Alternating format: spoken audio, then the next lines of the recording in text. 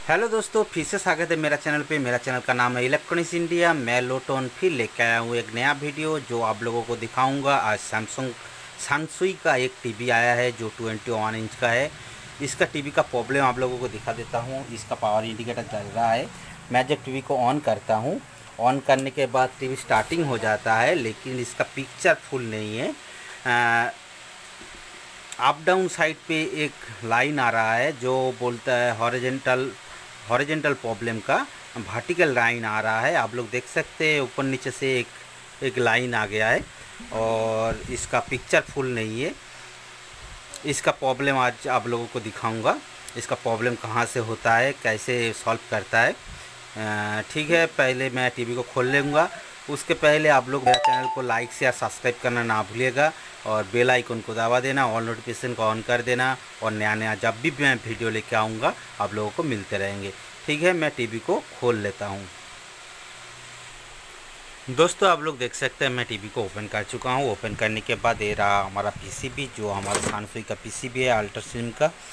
और ये ये जो हमारा प्रॉब्लम आया है, ऊपर नीचे साइड जो हमारा बार एक लाइन होके आ आ रहा है। इसका प्रॉब्लम ज़्यादातर हमारा योग कोयल से होता है। योग कोयल का जो कनेक्टर होता है, इसका फ्लासिंग हो जाने से होता है। और जो हमारा योग कोयल काट जाने से भी ये वाला प्रॉब्लम हो सकता है। इसके लिए पहले ये वाला टैग को ओपन करना पड़ेगा। ओपन करने के बाद ये वाला जो रेड और ब्लू वाला जो वायर है इसको मीटर से जो क्वान्टिटी पे मीटर पे रख के इसको माप लेना चाहिए। मापने के बाद आप लोग देखने आ, देखेंगे तो हमारा योग कोयल सही है तो आधार साइड पे काम करेंगे। मैं योग कोयल को पहले ही काम चेक कर चुका हूँ जो हमारा योग कोयल सही है। उसके बाद जो हमारा होता है ई e सेक्शन से हाई सिंग नहीं होने के कारण ही ये वाला प्रॉब्लम होता है। जो हमारा हॉरिजेंटल सेक्शन का एक कोयल दिया गया है और दो पीएफ दिया गया है, जो हमारा हॉरिजेंटल सिस्टम को काम करवाता है और एक बूस पीएफ दिया गया है। और आप लोग देख सकते हैं वर्टिकल सेक्शन से सामने एक एक कैपेसिटर है। वो कैपेसिटर हमारा ऊपर साइड से फूल गया है। ये वाला कैपेसिटर को चेंज करेंगे। उसके उसके बाद देखेंगे आधार सेक्शन से क्या प्रॉब्लम आया है। जो पहले नज़र में आ जाएगा, जो प्रॉब्लम देखेगा, उसको पहले रिपेयर करना पड़ता है। उसके बाद ही आधार सेक्शन को देखेंगे। उसके लिए ये वाला कैपेसिटर को पहले चेंज करेंगे, उसके बाद ही सिस्टम को चेक करेंगे।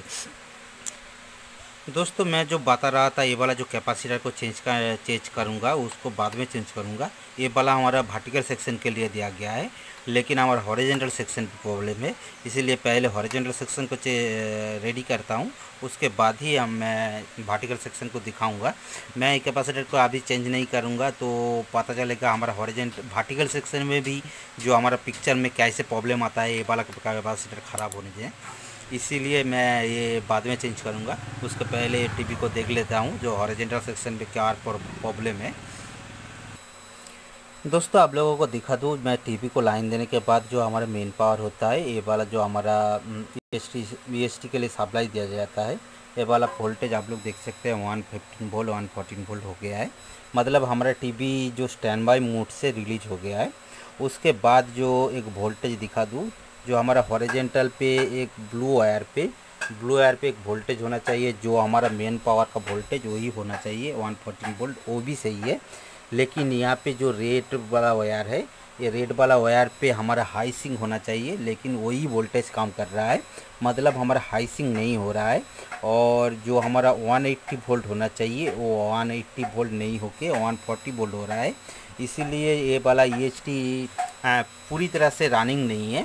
इसीलिए ये वाला वोल्टेज कम आ रहा है, जो लो आ रहा है, इसीलिए ये वाला हॉरिजेंटल सेक्शन पे काम करना पड़ेगा।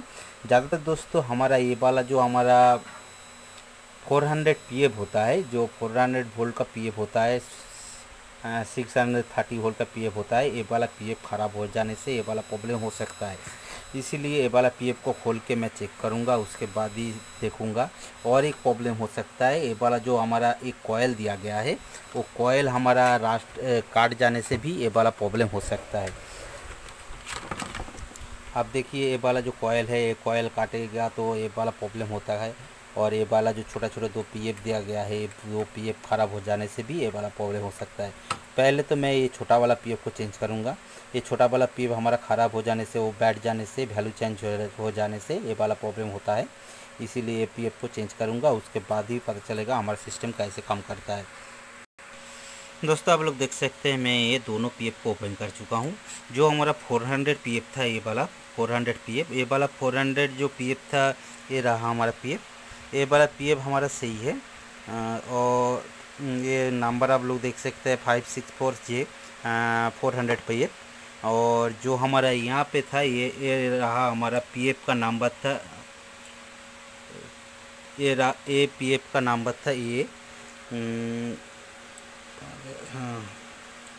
थ्री नाइन फोर जे ढाई सौ वोल्ट का था। ये हमारा फोर हंड्रेड जो वोल्ट का जो पीएफ था, ये वाला पीएफ हमारा सही देखा रही है। लेकिन ये बार जो पीएफ है, ये वाला पीएफ हमारा ओपन हो चुका है। इसीलिए आप लोगों को पहले भी बता चुका हूँ, ये वाला पीएफ को चेक चेक करने से चेक करने का जो प्रोसीड्यूर बता रहा था आप लोगों को, ये वाला जो हमारा डीसी टेस्टर है डीसी टेस्टर से आप लोग बूस पी को चेक कर सकते हैं। ये वाला पी टेस्टर से मैंने चेक किया तो ये वाला पी ख़राब निकला और ये वाला पी सही निकला। इसलिए ये वाला पी को जैसे लगाया था, ये वाला लगा लूँगा और इसके बदले में मैं ये वाला नया वाला पी लगा लूँगा और नया वाला पी लगा के आप लोगों को पिक्चर दिखा देता हूँ, कैसे पिक्चर आता है। दोस्तों जो हमारा 400 वोल्ट का जो पीएफ था मैंने जैसे लगाया था उसको लगा लिया हूँ।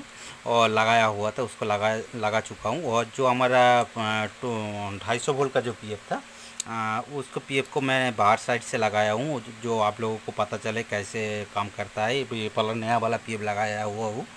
इसीलिए ये वाला पीएफ को बाहर से लगाया लगा के आप लोगों को पिक्चर दिखा देता हूँ जो हमारा पिक्चर सही होना चाहिए। आ, पहले तो मैं टीवी पे लाइन दूँगा। लाइन देने के बाद इसको स्टैंड बाई रिलीज़ करना पड़ता है, जो हमारा सानसुई वीडियोकॉन का होता है।